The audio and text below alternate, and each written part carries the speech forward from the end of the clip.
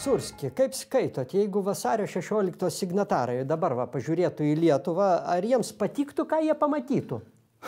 Iš turistinės pusės gal ir patiktų, nes, nu, kaip besakytum, vis tiek gražus kraštas. Ja, bet, e, nu, ne už tokį Lietuvą jau pasirašė. Jo. Ką jūs turite omeny? A jūs perskaitykite aktą. Jūs net su padidinimo stiklu ten nerasit žodžių. Galimybių pasas, QR kodas, respiratoriais. Šiuolaikiniai politikai viską sugadino.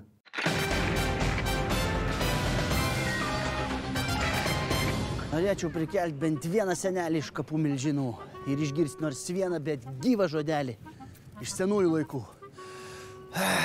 Kodėl nebėra tokio didžio vyrių kaip va Jonas Basanavičius? Seniai! Nu, vai paimtų mygom savo lasdą, išvaikytų valdžią ir gražintų Lietuvai teisingą kelią. Nebebus jau to, nebebus jau.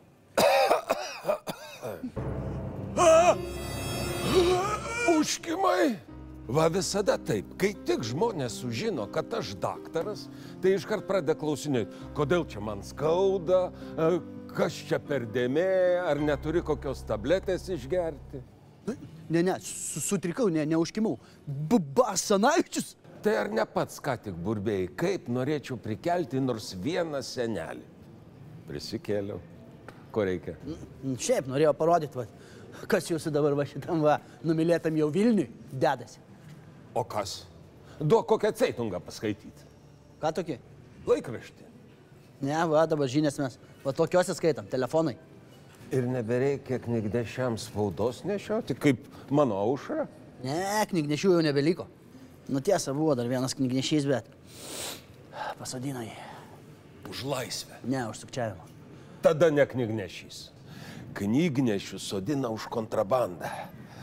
Na, praseikime. A, tiek prastovėjus reikia sveiką kojas pajudinti, ne? Tai ko toks nepatenkintas lietuvi, ką? Kad rypauji prie mano paminklo. Nu, žinot, aš labiausiai pykstu, kaip, kaip valdžia kovoja su pandemija. Yra pandemija. Atsimenu, kai Bulgarijos ligonėje dirbau, tada irgi turėdavome lygų protrukių, bet suvaldydavom.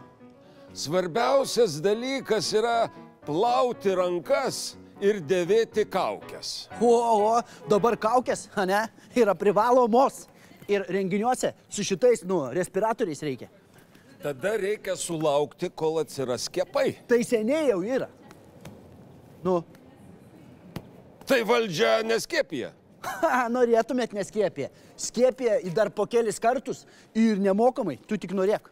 Tada reikia neskėpytų ir sergančių į turgų neleisti, kad lygos nenešiotų. Net nu, tai buvo ir tas ten buvo toksai galimybių pasas, suprantat, kas neturėjo, žmogus su juo normaliai gyventi negalėjo. Kaip daktaras aš tai padaryčiau. Bet žinokit, buvo tokių žmonių, kurie atsisakė skiepytis ir saugotis. Tie, tie žmonės, kurie troško, troško numirti laisvi.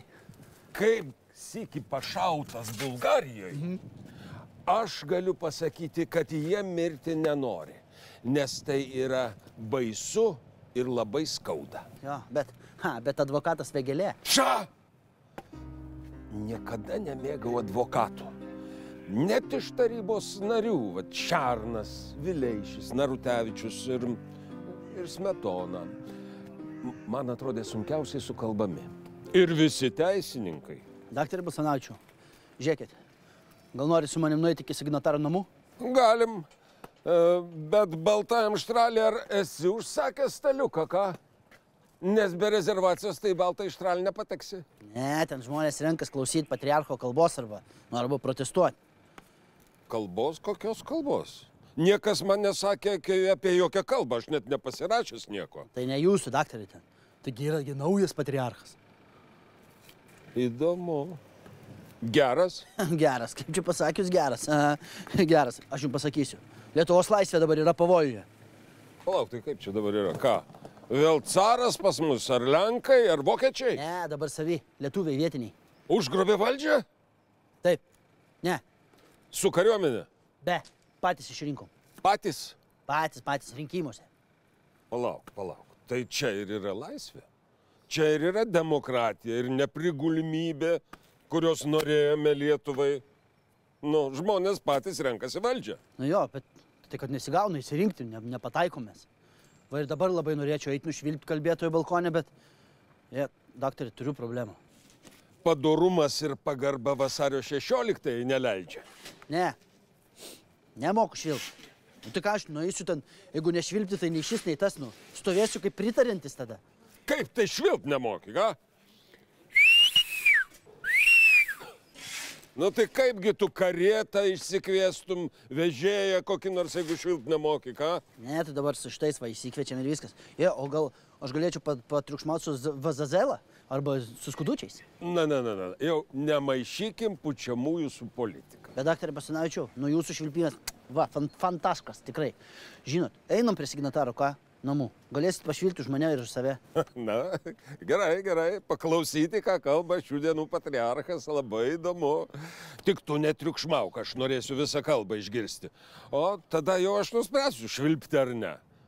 Man nereiks lasdos naudoti, a? Nu, nebent nuo policijos gi- ginsimės. Gerai, einam, žiūrėkit. Dar po to skundą parašysim. Žinot, kad, pažiūrėjau, Vilniuje, ar ne? Balkonuose negalim rūkyti. O pamatysit, kokius iš balkono propagandos dūmus pūs. O, o, pamatysit. Va taip ir yra. Nu, neišeina niekaip. Nu, vat. A ne, Jonai? Jonai!